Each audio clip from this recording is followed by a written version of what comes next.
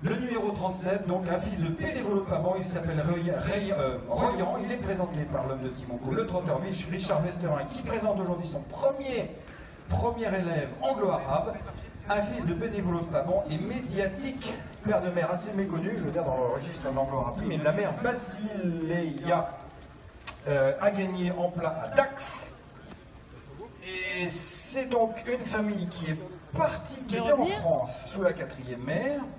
qui est partie d'une part en Angleterre, on a eu notamment Baladani qui a gagné le bonus Sprint Stairs lors de Cheltenham, la course sur 4900 mètres en haie,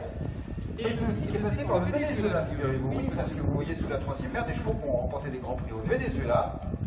Pinky qui avait gagné à deux ans et le prix Eclipse groupe 3, et puis, et puis, bien tout ça à la faveur d'un croisement avec Médiatique qui est arrivé dans le monde, oh, trop, voilà, dans le monde de l'anglo-arabie,